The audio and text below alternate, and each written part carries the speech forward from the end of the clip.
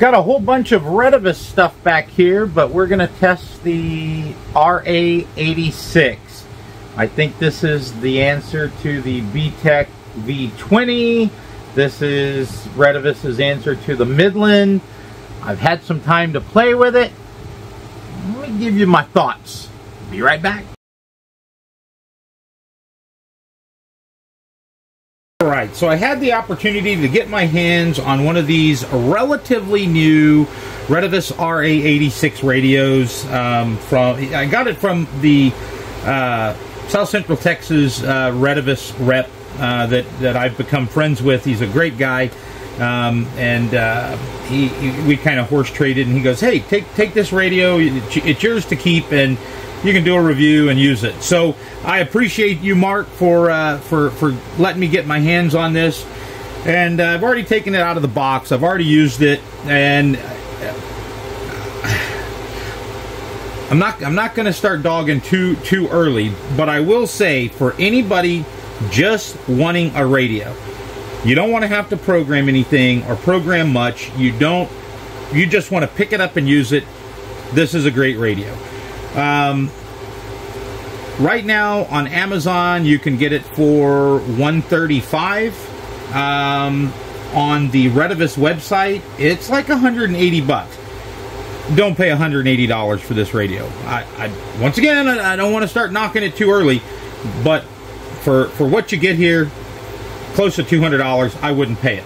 So, what comes with it? You get the small unit, right? The, the actual radio. You do get about 15 feet worth of coax and this antenna. Don't let the size fool you.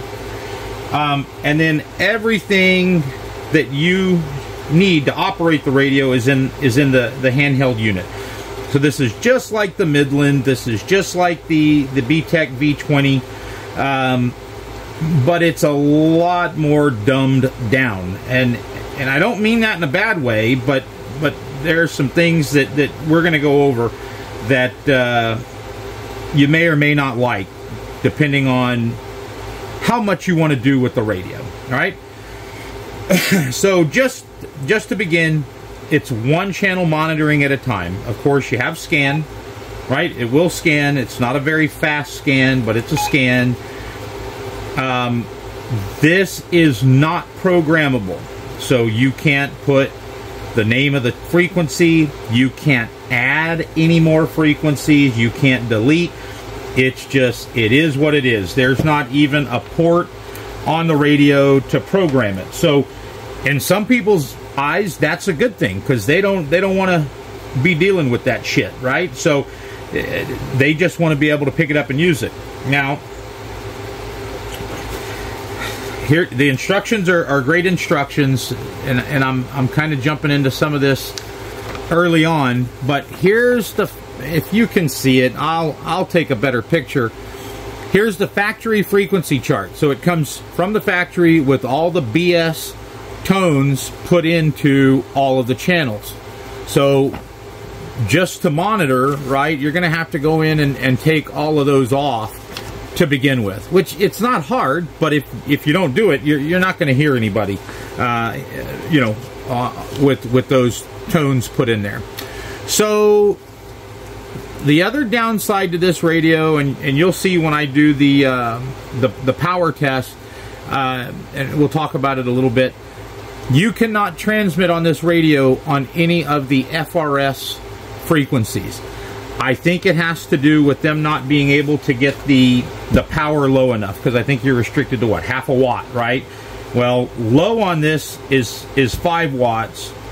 High power is 20, but as you'll see, you aren't getting 20. Um, that, that just drives me nuts. Especially for a GMRS specific radio, there's no reason you, you shouldn't be able to dial that thing into what you're advertising it to do right? So, few few little quirks there. Um, you have your channel up and down. You have your power. Your menu button. We'll get into that in a minute. You have your weather. I'll show you that later. You have your scan and monitor, and then your call and your your button lock, and then this is your volume. So really easy to adjust the volume, unlike on the uh, the BTECH. Um, there is a speaker inside the mic.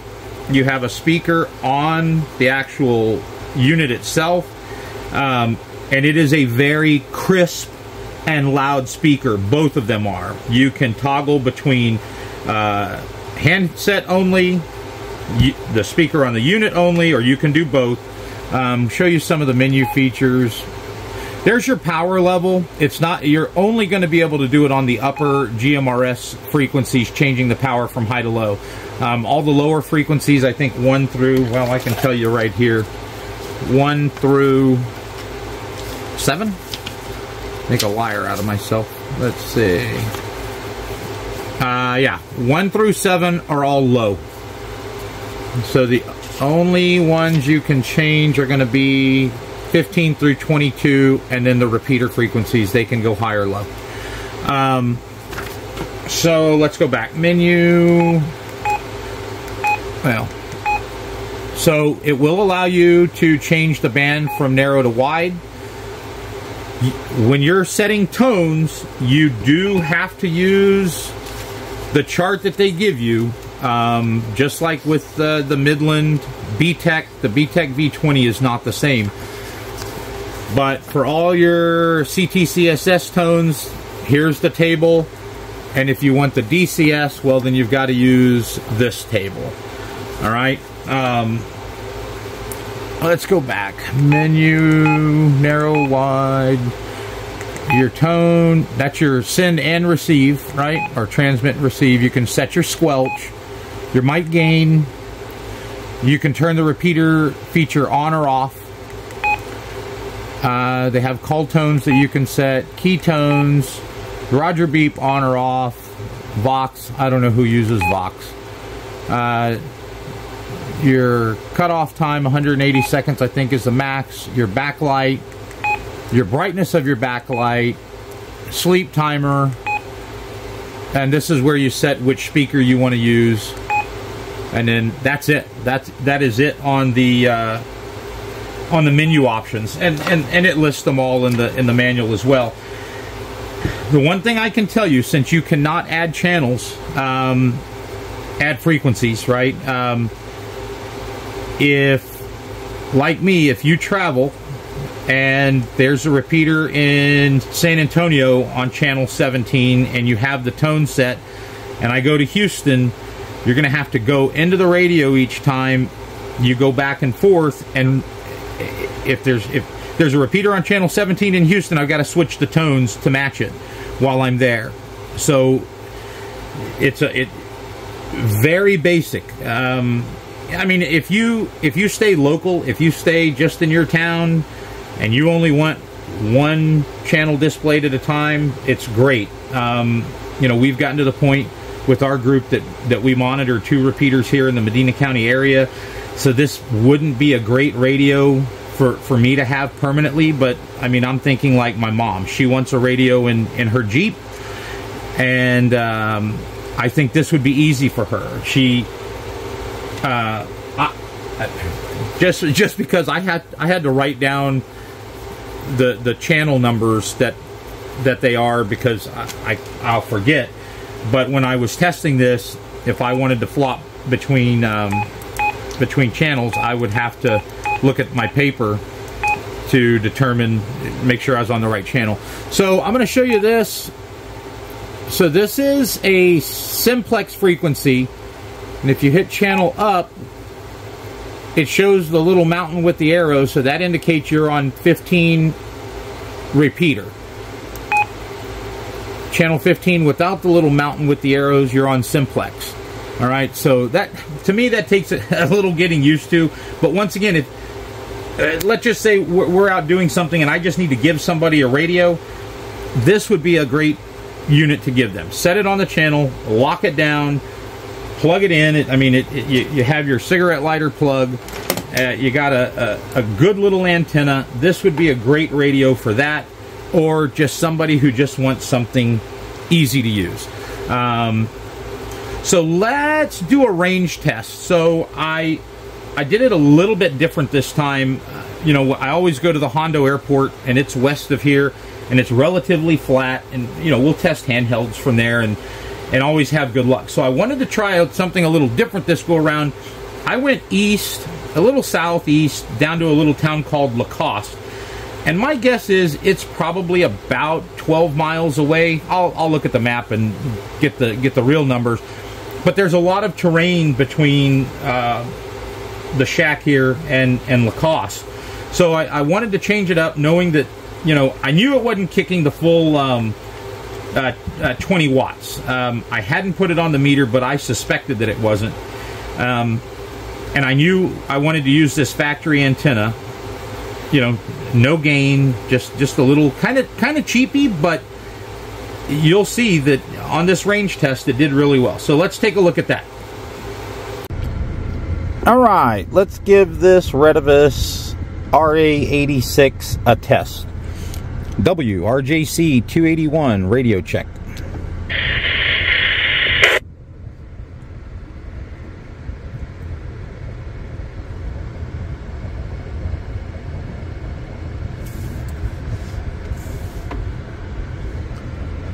Okay, this is using the stock antenna uh, that came with it. This little little stubby guy I showed you. It's on top of the roof in the middle. I don't know if I'm getting out. Maybe I'm just barely tripping the repeater. Let's try it again. WRJC 281 radio check.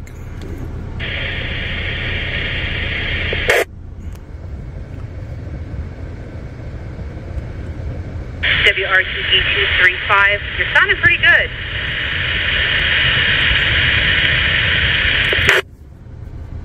All right, and you are as well. I'm in the Dollar General parking lot here in Lacoste. Um, there's quite a bit of terrain between us, the big hill and everything, so just wanted to change it up instead of going to the airport. We know it works from there. So, all right, well, I'm going to head back that way. WRJC 281, I'll be monitoring.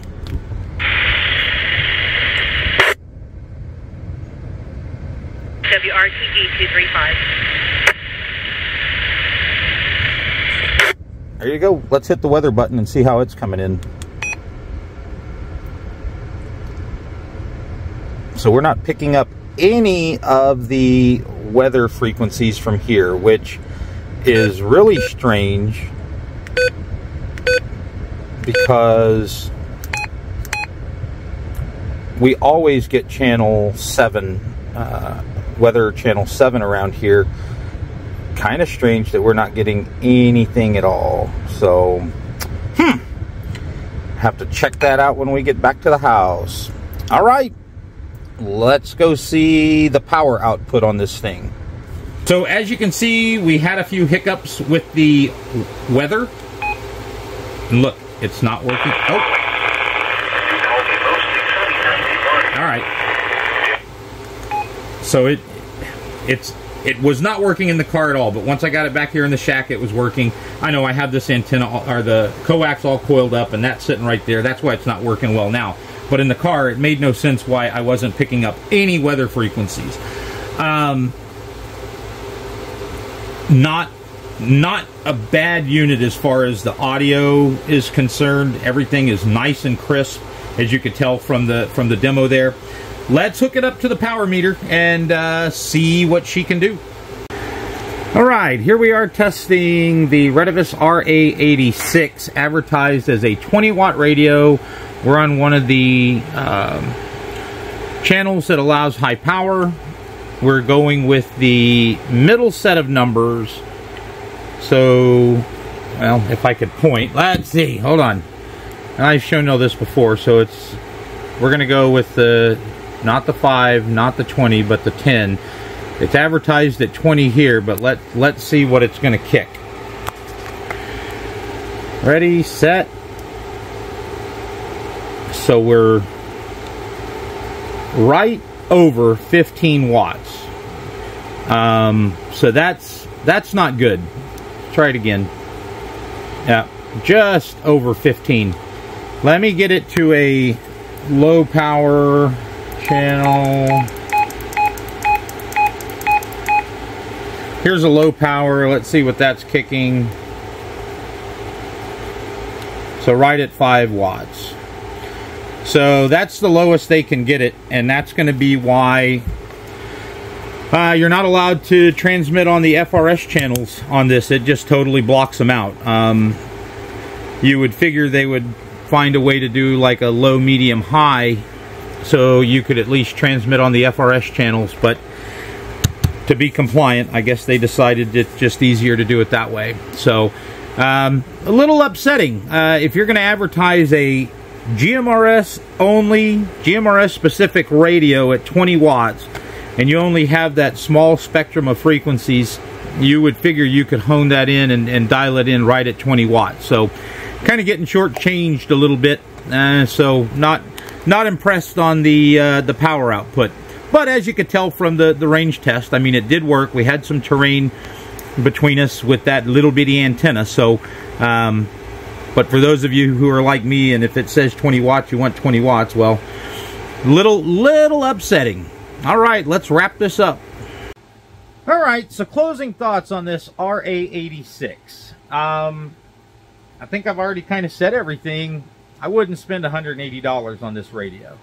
Um, 135 yeah for somebody once again if, if you're just getting into it good starter radio somebody who doesn't want to know how to program doesn't care to learn how to program but you also don't mind not having extra channels for frequencies uh, you know that with different tones different repeaters you're not going to do it with this it you know once again very basic um, no quirks uh, other than missing five watts, having the few issues with the with the weather uh, monitoring button, um, it's solid.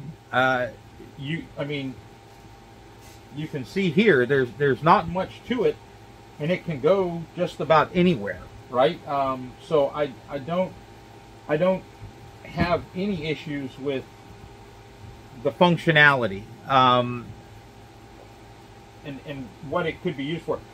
I mean, this could be permanently mounted. I, am going to keep it as a, as a backup. I'm going to buy a little uh, Pelican case for it and keep it in there, keep it in the car in case anybody ever, uh, we need to hook them up with a radio. It, they're going to have it and it's, it's easy to install and then, and then operate. So that, I, I'm, that's what this is going to be used for. Um, if you have one of these, let me know in the comments what what you think about it. Um, on a scale of one to ten, I'm probably going to give it a seven and a half. Let's go with seven and a half. Um, just just because mainly it's missing those five watts. I, Retevis, I just wish you'd get it right. These guys, these guys, this is a 10 watt handheld. It's like nine and a half watts. It is, uh, these, these are some beasts from Retevis. These are the RT29s, and uh, we've everybody in the, in the React group uh, has bought one. We have a few on order, um, but those are those are good radios. I just I just wish that they would put out what they advertise, or just sell it as a 15 watt radio. Right? Quit blowing smoke up people's asses and call it what it is. So that's really my only beef. Um, Join us on my uh, Facebook group, Medina County, Texas GMRS. I would love to see you there. We're up to about 200 uh, folks in the group. Uh, a lot of good conversation and uh, about uh, GMRS stuff, React stuff. Um, you know, you'll get uh, a lot of feedback from from the, the, the, group if you have questions. And we'd love to see you there. I appreciate you watching my videos. I know it's been a while and uh, you know we'll, we'll get a few more reviews going on here soon. Uh, just had a lot going on with uh, getting React. Uh, our first event worked. I'll flash a few pictures and uh, a lot of training, as I'd mentioned on a on a previous video. But uh, I, I really appreciate all of you watching, taking the time to comment and and liking my videos. I hope you all have a great day. Stay out of the heat. It's hotter than the hubs of hell here in Texas right now. And we'll see you on the next one. Y'all take it easy. Thanks.